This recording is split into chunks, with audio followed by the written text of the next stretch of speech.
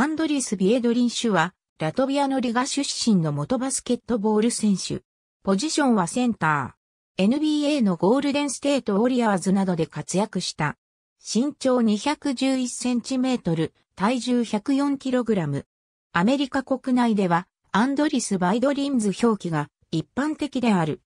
若くして、ラトビア国内リーグでプレーした後、2004年の NBA ドラフトにおいて、ゴールデンステートウォリアーズから全体11位指名を受けて NBA 入りした。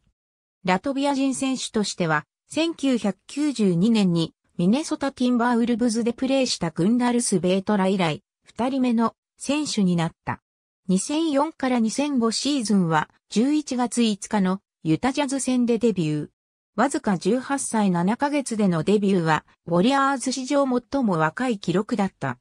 このシーズンは30試合出場で平均3.6得点、3.9リバウンドを記録した。翌2005から2006シーズンは15分近い出場時間を確保。依然とロイ・マーフィーやエイドナル・フォイルの控え選手としての出場だったが、成績は前年よりもわずかながら上昇した。2006から2007シーズンはドンネルソンが11年ぶりにウォリアーズのヘッドコーチに就任。長らくプレーオフに進出できず苦しんでいたチームの再編が迫られることになった。ビエドリンシュは開幕から20分の出場を果たすと3試合目から先発に定着。インサイドの用としてダブルダブルを記録するなど着実に成長を遂げ、ミップ候補にも上がるなど評価も上がっていた。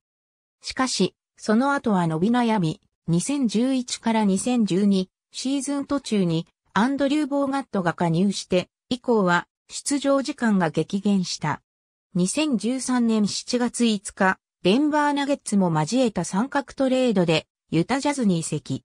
しかし、6試合の出場、平均出場時間7.5分と苦しみ、2014年4月5日に解雇されて以降、NBA 内外問わず獲得に乗り出すチームも現れず、現在は事実上の引退状態となっている。欧州出身のインサイドプレイヤーながら、外角のシュートよりもローポストでのプレーを得意にする。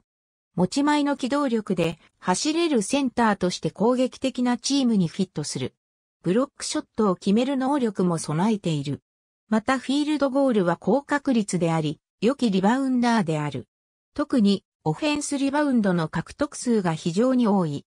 一方、体の線は、センターとしては細いため、ポストプレーはあまり試みず、フックシュート等のテクニックも持ち合わせていない。フリースローは、キャリア平均5割に届かず、フィールドゴール成功率よりも低く、ドンネルソンも攻撃力の乏しさに苦言を呈したほどのひどさだった。ありがとうございます。